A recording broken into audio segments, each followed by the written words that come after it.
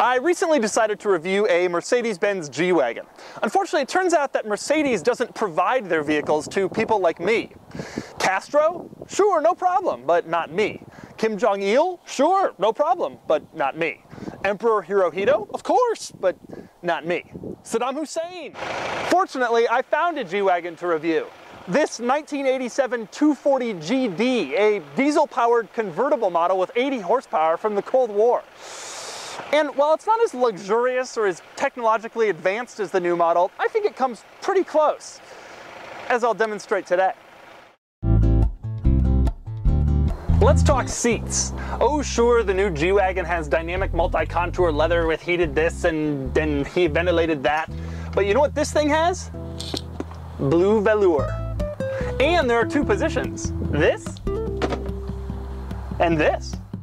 It's the same deal in the back. The new one has tray tables and screens and entertainment systems.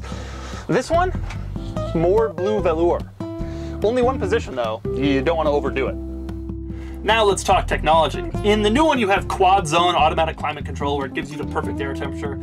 Well this one is pretty advanced too. For example, you have one little slider with a circle and an up arrow, one little slider with a circle and a down arrow, and then one that's blue and red. Oh, and you also have this little wheel. I mean, that's cutting edge. Now, I admit that one area where this truck comes up short compared to the new one is infotainment. That's because the new one has a big screen with all these buttons and it can do all sorts of cool stuff. Whereas the center stack in this one is limited to this black switch of unknown function, hazard lights, this radio with two buttons mysteriously labeled M and U, and this little black plastic thing. But this car does have two major technology advantages over a new one. Number one, an airplane gauge.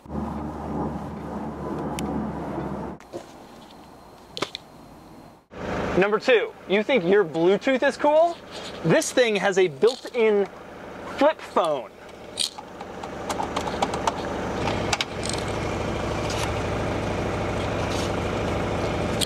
I could kill you with this.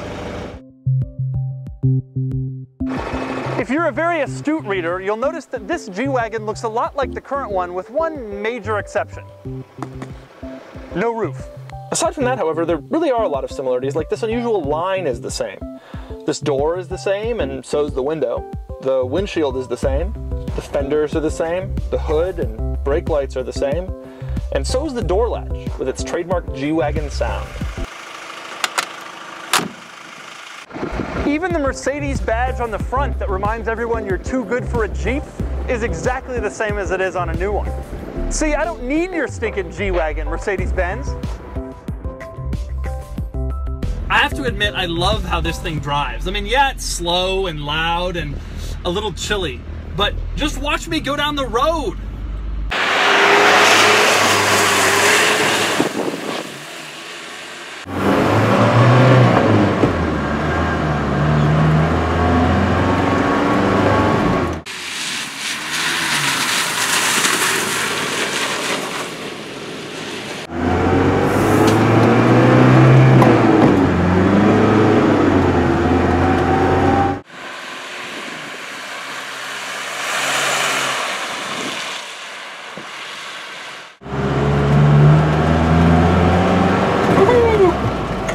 30 kilometers. Another cool thing, this truck is a manual. Can't get that in a new one, and that means I can rev it up and throw it around corners.